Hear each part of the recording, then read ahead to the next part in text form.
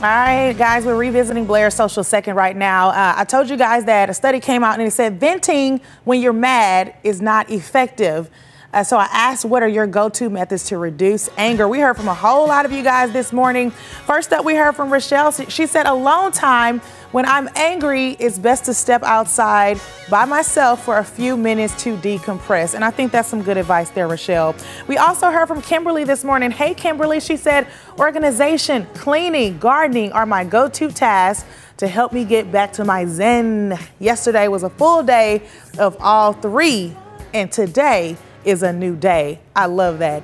Then lastly, we heard from Vanessa. Hey, Vanessa, she said, organize, clean, drink lots of water, and get plenty of sleep. She uses the app Headspace, and it helps a lot before bed.